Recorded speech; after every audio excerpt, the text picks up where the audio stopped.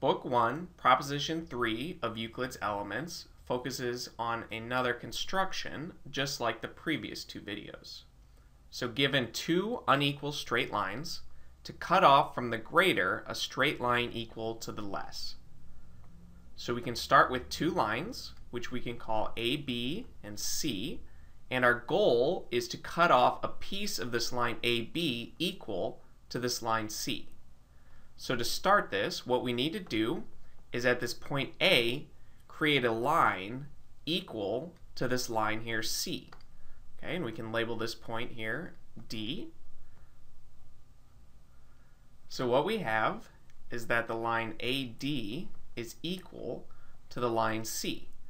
And the reason that we can do this is due to Book 1, Proposition 2, which says that we can construct at a given point a line equal to a line that we were given.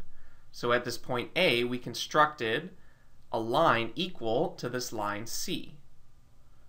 And from this step, what we want to do is use postulate number three, which allows us to construct a circle using any point as the center and any radius. So let's construct a circle at the point A for the center, and we'll use this line AD as the radius of the circle. And now that we have the circle drawn, we can label this point here where the circle intersects our starting line AB. We'll call this point E.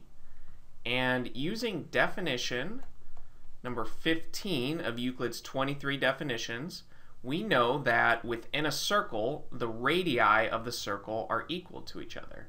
So this line AD here must equal this line AE since they're both radii of the circle. So line AD equals line AE. But we already know that line AD equals line C.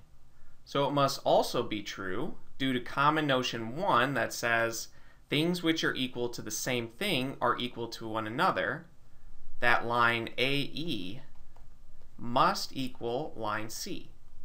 So again, that is common notion number 1. And since line AE is equal to line C, we have constructed exactly what we sought to.